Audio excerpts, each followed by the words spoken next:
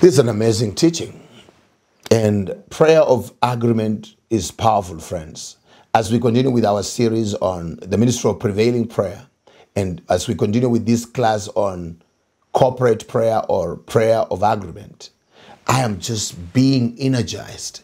And I feel all this, I, I, I, my prayers that all the saints get to understand what we are talking about.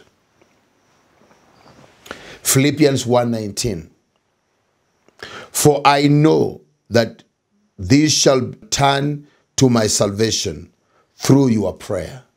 This shall turn to my salvation through your prayer.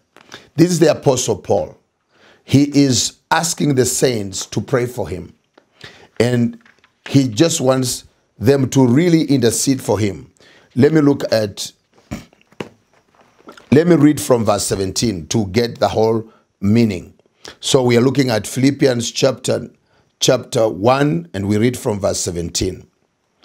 Those who preach Christ with ambition and competition are insincere.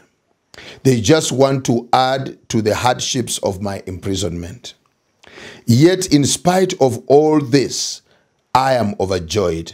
For what does it matter as long as Christ is being uh, preached?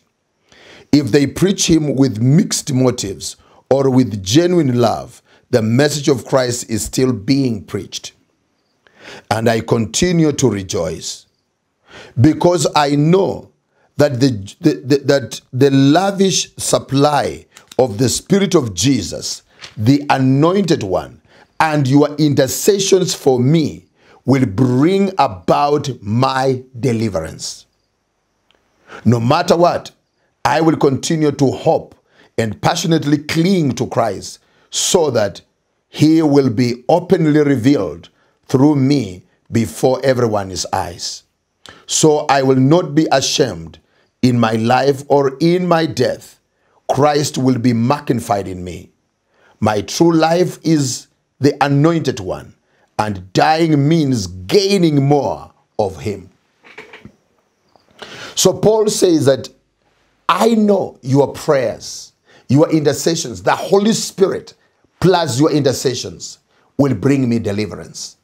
So when saints, when when the congregation gather, if your pastor, your leaders, your spiritual leaders are going through issues, you don't have to be talking about it.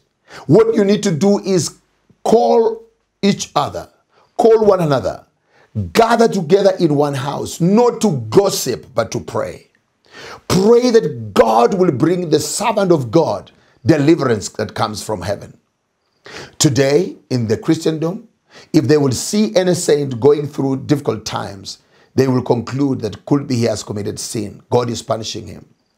They don't understand that persecution can come on anyone. And so people will come up with so many things. Don't join the bandwagon of those who badmouth the men and women of God.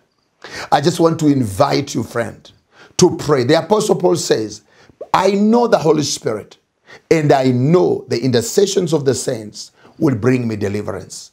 Is it possible that today, I, I mean, would you today be a person that God will use to bring deliverance to a pastor, to a man of God who is being persecuted, who is suffering from the spirit of competition from others?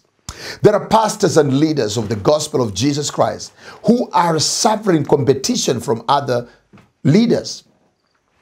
By the way, are you aware that sometimes even we may blame the government for harassing church leaders and it's not the government, it's just some other pastors trying to harass another pastor? Aren't you aware that there is jealousy and there is envy? And Paul says, okay, they, they, there are those who are envious of me and they want to make sure that I continue suffering. But the Holy Spirit and you guys who are praying for me, your prayers will help me be delivered. This is an amazing, amazing reality that we need to understand. It is, uh, let me tell you, sometimes it is easier to fight the heathens than to, to, to fight saints or religious people who are full of jealousy. They persecuted Jesus, by the way. They are the ones who crucified Jesus. The Roman, the Roman Empire did not kill Jesus. Jesus was killed by religious people. You remember, even the Roman leader said, I don't find anything wrong with this man. And they said, No, let this guy be crucified. He said, On such a day, you, need, you, you always ask for us to release one prisoner. Let me release this Jesus because I don't see anything. They said, No, release that thief, but not Jesus. They said, and he said, But this man hasn't committed any sin. We cannot shed the blood of the innocent, it brings a curse. And they said, Let that curse be on us, let that curse be on our children. It was the religious Jewish people who said those things. Let me tell you, the spirit of religion is a spirit of Antichrist, is a spirit that is against anyone who is anointed. Religious spirits fight anointed people. And oftentimes, when you go to a city and you find that the pastors and other people, they, they are against a particular pastor over something, most likely he is more anointed than they are. And they are threatened by his anointing. So they will come up with all manner of things. But I want to tell you, pastors and leaders who are listening to this broadcast, don't malign your friends. Don't be used of the devil to persecute another pastor, another minister of the gospel. Don't do that. It doesn't help. It doesn't bring glory to God.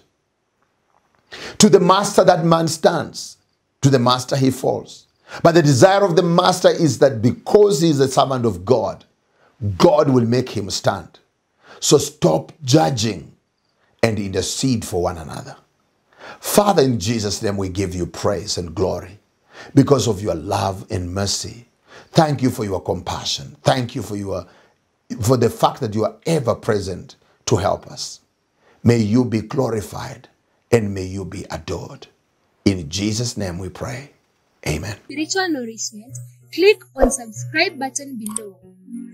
Click on the notification bell to become the first to know when we upload another video.